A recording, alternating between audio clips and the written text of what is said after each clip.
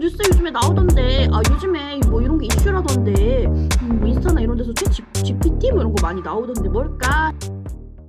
안녕하세요. 중돌보의 윤주원 기자입니다. 오늘은 최근 이슈인 챗 GPT에 관련한 영상을 찍어볼 건데요. 제가 챗 GPT를 직접 사용도 해보고 그리고 이거에 관련해서 전문 교수님한테 좀 제가 궁금한 것들을 질문을 드려봤는데 그거에 대한 정보를 같이 공유해드리는 영상이 될 것 같습니다. 사람이랑 대화하는 것처럼 컴퓨터랑 대화를 하는 거예요. 아이언맨 보셨죠? 거기에 자비스가 나오잖아요. 그래서 자비스는 뭐 물어보는 거에 대답을 해주죠. 기존에 우리가 챗봇 같은 경우에는 어, 시나리오 base라고 해서 일정한 질문에 일정한 대답. 이 챗 GPT는 딥러닝 기술을 기반으로 빅데이터를 활용을 해서 자연어를 얘네가 구사를 해요. 그래서 너무 신기하거든요. 그리고 물어볼 때마다 대답이 달라. 그러니까 너무너무 재밌어요. 챗 GPT한테 질문을 해보는 것부터 일단 화면으로 보여드릴게요.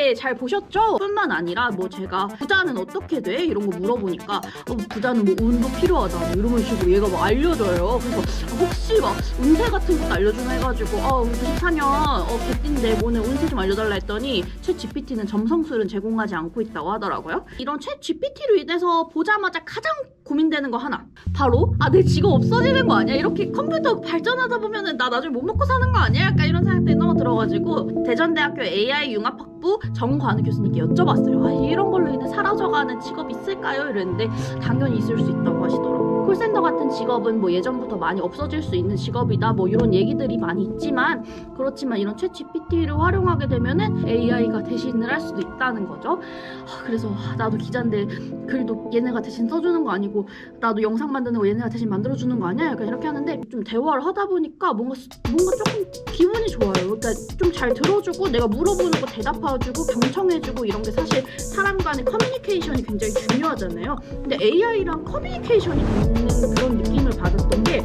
제가 혹시 너 우울증 치료에 도움이 되니? 이렇게 물어봤더니 어 우울증 내가 뭐 정확한 의사가 아니어서 우울증에 대한 뭐 진단을 내릴 순 없지만 대화를 하면서 가벼운 스트레스는 풀 수 있어. 이런 뉘앙스로 얘가 얘기를 해주더라고요 문자로. 그래서 어, 얘랑 얘기하다 보니까 굉장히 좀 재밌네. 도움이 되네. 뭐 그런 생각들이 좀 들었는데 아직 조금 얘가 좀 미비한 부분이 있어요. 뭐냐면은 예전에 심심이 아시죠? 그래서 심심이 같은 경우도 막 약간 좀 욕설을 하거나 이렇게 사람들이 막 이렇게 나쁜 말들을 가르쳐가지고 그래서 그런 그런 측면들이 있었는데 얘챗 GPT도 아직 그런 위험이 있다고 해요. 그래서 이챗 GPT 같은 게 뭐 이렇게 시장에 활성화 그렇게 되지 않는 요인 중에 하나가 뭐냐면 그런 위험성 있는 발언들을 할 수가 있대요. 좀 조, 얘네가 사람은 아니잖아요. 그러니까 오류가 생길 수도 있기 때문에 그 오류를 감수하고 어쨌든 그런 서비스를 제공하는 업체 같은 경우에는 책임을 져야 되잖아요. 그 오류에 대한 책임 사실 좀 문제가 될 수 있다고 교수님께서 그렇게 알려주셔가지고 뭐 도구도 사실 사용법을 알아야 그리고 주의사항을 알아야 사실 활용하는 게 더 좋잖아요. 주의해서 활용하는 게 좋겠습니다. 지금은 출시된 지 얼마 안 됐고 무료로 사용할 수 있으니까 제가 QR코드 하나 넣어드릴 테니까 여러분들도 한번 이용해보셔도 재밌으실 것 같아요. 굉장히 재밌거든요. 그래서 그런 생각이 들었고 그리고 가입도 굉장히 간단해요. 가입하고 뭐 핸드폰 인증만 하면은 어, 이렇게 바로 바로 사용할 수 있는데 뭐 나중에는 요금을 부과한다는 그런 얘기가 있어요. 그래서 무료일 때만 해보자. 어, 알파고 같은 경우는 어, 이렇게 계산 확률 계산을 하는 거래요. 확률만 계산하는 프로그램이라고 얘기를 해주셨고요. 그리고 이런 생성 AI 같은 경우에는 얘가 딥러닝을 바탕으로 계속 공부를 하고 내가 아까 물어본 질문이랑 지금 물어보는 질문이랑 달라요. 얘가 그 사이에도 공부를 한 거야.